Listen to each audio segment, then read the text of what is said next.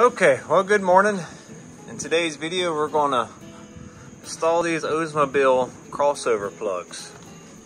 So what you have here, let me get light, is this is our intake side of our Oldsmobile number 7 heads that came in like the early 70 350s. And you can see we have a exhaust port right there, or exhaust valve right there, and exhaust valve right here. So we have, you can see the larger valves, intake, intake, exhaust, exhaust. And the valves come together and go out Siamese to the header on this side, but also they come together and go out this intake crossover. On the intake, this pretty much goes under the carburetor and it allows for faster intake uh, temperatures and also your choke on your carburetor to open uh, more efficiently. Uh, we're, we're more performance oriented, so we're not worried about this. So we'll get into also some of the, uh, I guess, specs in a way. So this is cast iron, and this came with an Edelbrock Performer RPM back about 10 years ago, maybe even more.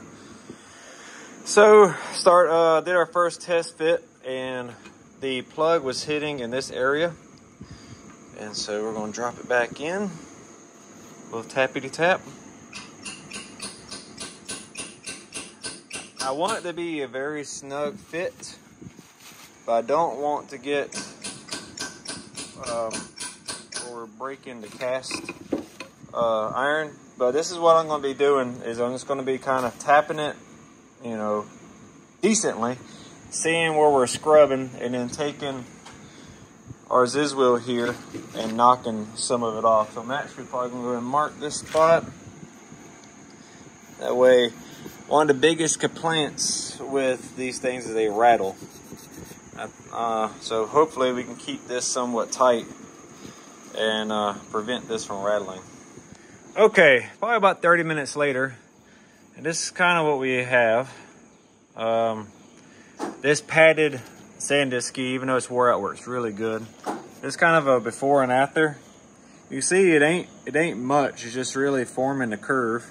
And I really thought I can get this thing to press in, but this cast iron just is not budging. And uh, I got a little bit of lip right here, but all I do is I've been tapping it in.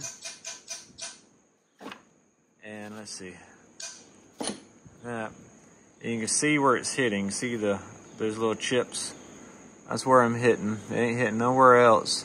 I kind of want it flush without hitting because this cast iron is not giving. There is no, there is no uh, like press fit going on here. It's just, it's not really what I wanted, but is what it is. Okay, we're making good progress. We just got the other side done.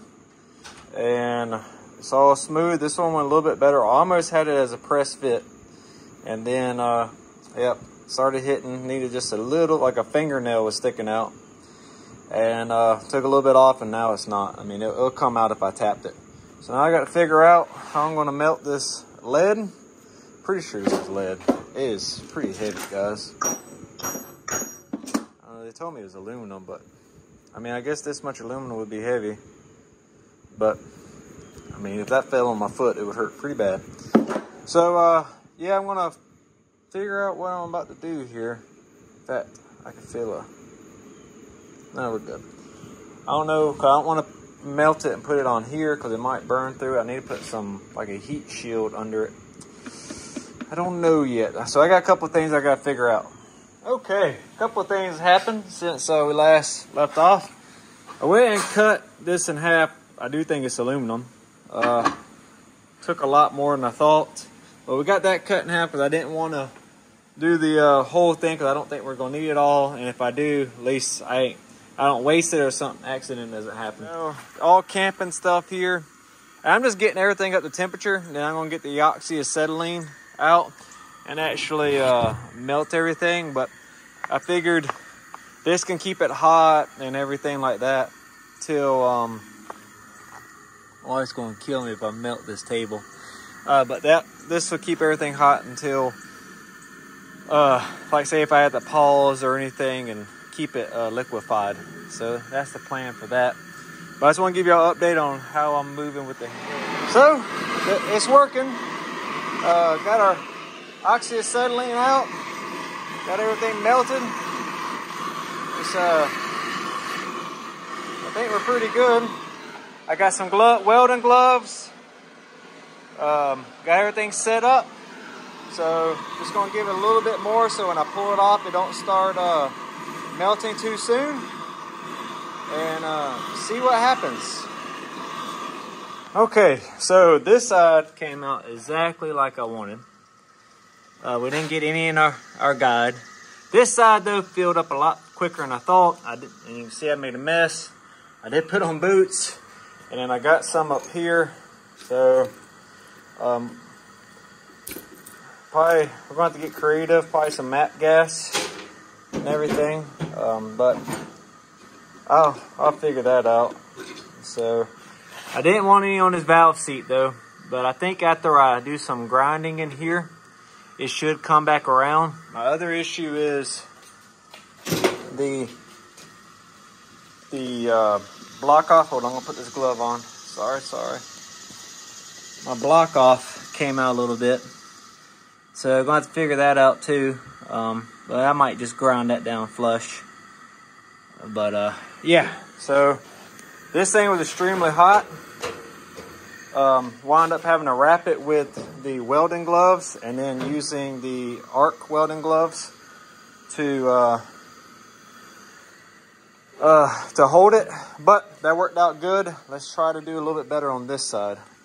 Okay, so on this one we put a screwdriver underneath and it came out really good. I'm not looking for a professional job. I, I would love to blend it very well, but truthfully I think I probably need to stop while I'm ahead. Uh, I think that's actually going to be pretty doggone good. So we're going to have to work on this side. I did, uh, we're going to, to get it out that valve seat. I kind of would like the way it is here, but at, at, the same time, just knowing the tooling I have, it's probably best. Actually, this one is probably the best. Um, I need something to that effect. Well, I guess I should have showed you before, but we had uh, a little bit of aluminum get around this edge here, and a little bit here. All it took was a uh, let me get it, a little chisel and a hammer, and it chipped right off. So that was too easy. This side's perfect. We'll probably grind down. I think there's a little bit of a fingernail there. We'll probably hit that just to make sure we don't have any issues when we go to um, uh, mount our intake. So, but let's get ready to flip her over. All right, so we have the other one. I'm gonna try to knock this out with a, a punch and a screwdriver and, uh, and a hammer, I mean. And then we're gonna try to do this side. You can see all the leaking and how it came out a little bit. See what we can do about that, and then we'll play around with the port. All right, some hammering, and uh, we're just gonna thread it on out.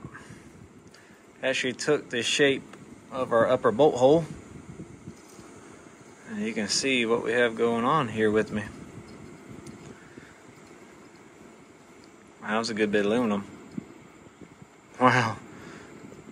I mean, who knows if it actually went in uh, full. But yeah, that, that's a lot of aluminum that went over. It went straight into that uh, that exhaust bolt. So, all right, so that was easy. Let's get to the intake. So here's the intake side. You can see I goofed. I have it sticking out some. So I'm gonna take this chisel or this pry bar, see if we can't break some of this stuff off like that. And uh, I'm just gonna work this off camera and then uh, try to grind this flat. Okay, we use the, the big grinder with the, uh, we call it padded um, Sandiski.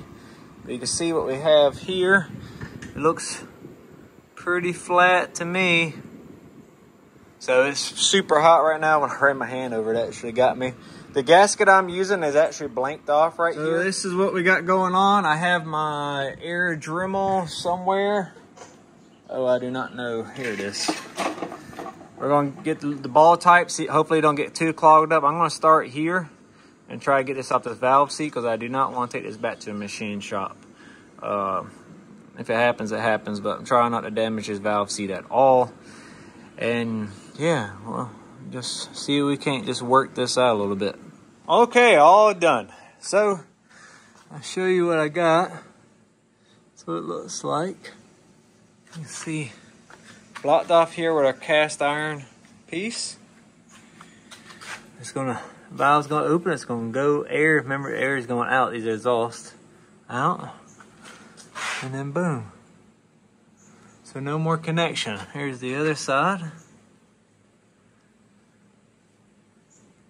Same thing. You can see what we got. And then, boom. Uh, I am going to bring them back to the exhaust or the machine shop. Let's see, this one I think I did pretty good on not nicking the valve seat. Yeah, that one you can tell I started getting right there. A little bit there, so I wanted to pressure test it. But here, I got pretty good right here, but it still, I think, would seat. But this one is the one I, I goofed up on bad. Just got in a moment, a lot of grinding, and uh, goofed.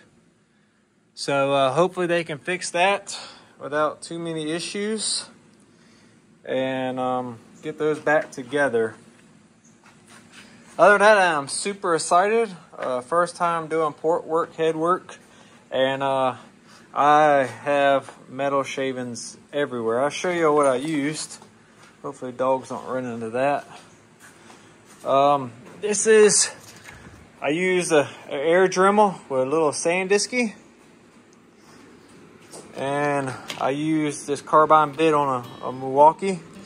I was using air for a little while on the uh, uh, on the grinder, but uh, my compressor started spitting water and it just got annoying.